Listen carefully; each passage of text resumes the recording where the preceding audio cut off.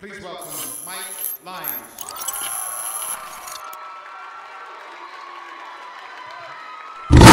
Today I'm going to be uh, training with a good buddy of mine, uh, Jonni Shreve, uh, who's getting ready for the Masters Olympia 212. We're going to do some chest and uh, let's see if we can get him on the right road to the Olympia. So let's get it.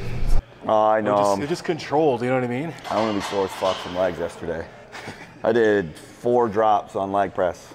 Why? On my, I don't know. That's the point. I don't know.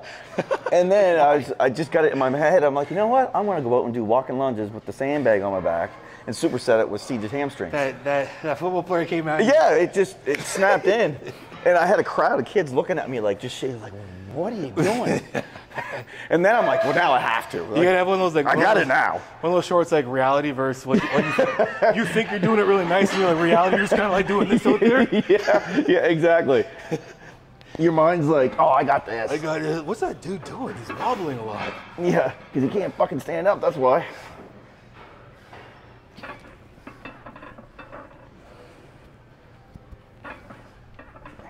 There you go. Come on. Good. Good. Come on. Five. Good. I feel lats. I feel lats. Come on. Nice. Good. Let's go. Good.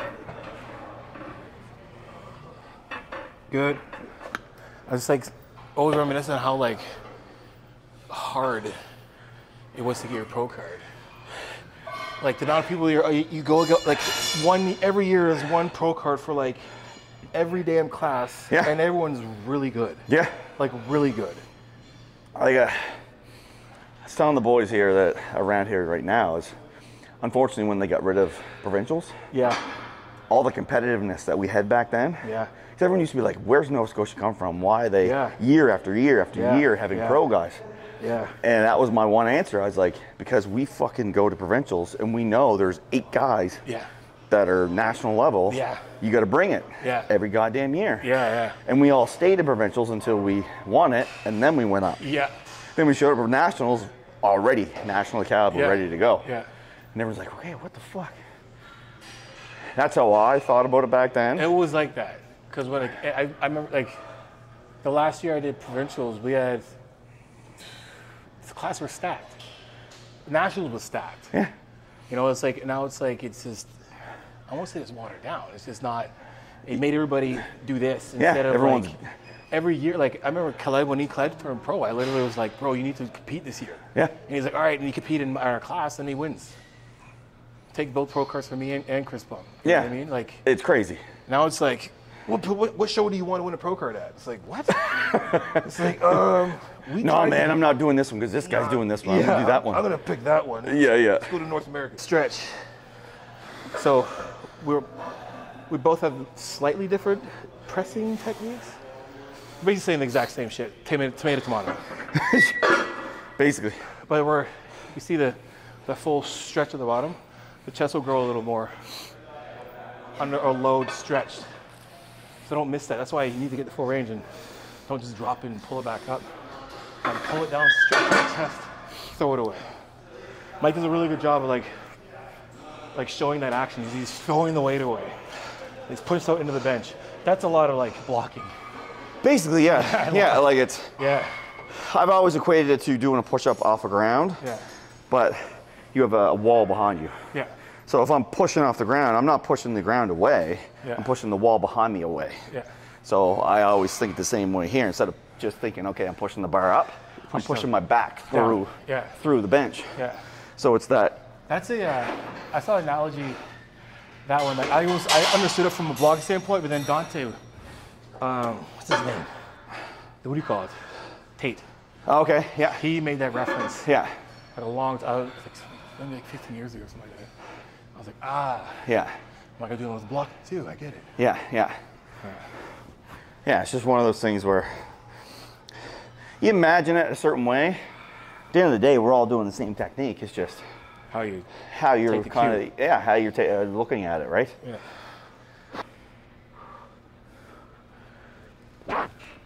Very good. Let's go. That's it. That's it. Come on, come on. Nice. One more. You got it, you got it. Come on, you got it, you got it. Come on, let's go. Good. Good. That's it. Good. Yeah. Ooh. It's a good one. Oh. Back in the day when we prepped, this place was banging, Yeah.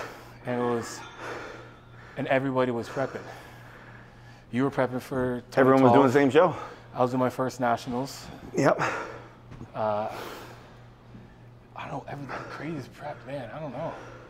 I think the one year I did with, um, it was like there was, there was me, Chris Bumstead, Mike, uh, Mike uh, Cipriani, uh, Dana Baker, Regan Grimes, uh, Hassan Jama. Mm-hmm. Uh, who else? Um, Rich C. He won his pro card too. Like there was, um, what's his- oh my god, oh my god, Tony Searle. Oh God, yeah. Like yeah. we had, it was just Stacked. stacked. Yeah. 17 minute. That was the end of the prep. It was a 17 minute call out. Yeah. Debbie was like sitting like moving us around for like 10 minutes before we even started actually doing anything. Did you ever have the blackout on stage?